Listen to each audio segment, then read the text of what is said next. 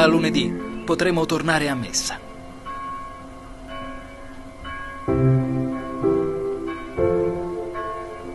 Ricordiamoci di arrivare in anticipo rispetto all'orario della celebrazione, di mantenere il distanziamento tra le persone,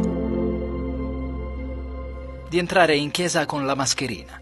Troveremo dei volontari o i collaboratori del parroco che ci guideranno in entrata e in uscita, mantenendo la distanza di almeno un metro e mezzo da chi ci precede.